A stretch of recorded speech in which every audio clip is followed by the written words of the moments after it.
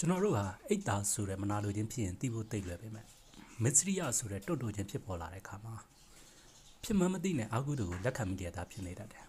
။သူကတိမ်မွေနှောနေပါဠိစာပေမှာအိတ်တာနဲ့မစ္စရိယဆိုပြီးနှစ်ပုဒ်တွဲတဲ့က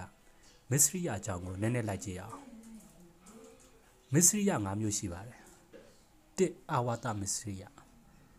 နေရာနဲ့ပတ်သက်ပြီးတွန့်တူတာမျိုးပေါ့။ဒီကလေးခေတ်မှာပူပူပြီးမြင်တာပါတယ်။ ကားစီးရင်ယထာစီးရင်နှစ်ယောက်စာကိုတယောက်တည်းထိုင်သူမျိုးပေါ့။နှစ်ကုလမစ္စရိယ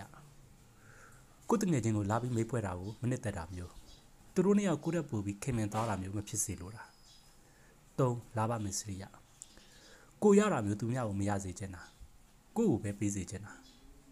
ဗုဒ္ဓခေတ်ကလောတကတိတ်တာမထေရဲ့အတိတ်ဘဝလိုပေါ့လေဝဏမစ္စရိယကိုပဲလူတွေကြားမှာထင်ပေါ်ခြင်းနဲ့ သူတို့ဘာထင်ပေါ်လာမှာမကြိုက်တာမျိုးဒီကနေ့ခေတ်မှာမြင်သားပါတယ်ငါဓမ္မမစ္စရိယဒါကသိမ့်မွေတယ်ဗျဖြစ်လို့ဖြစ်မှမသိတာဘူးကိုယ်အသိပညာကိုသူတို့ဘာကိုမမျှဝေလို့တာ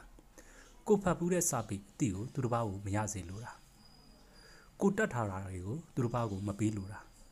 ခစ်ခေါ်ဆရာသားခြံတာမျိုးပေါ့မစ္စရိယဆိုတဲ့အကုသိုလ်စိတ်များကင်းဝေးပါစေကြောင်းဆန္ဒပြုရင်အရေးတော်ပုံအောင်တော်မူ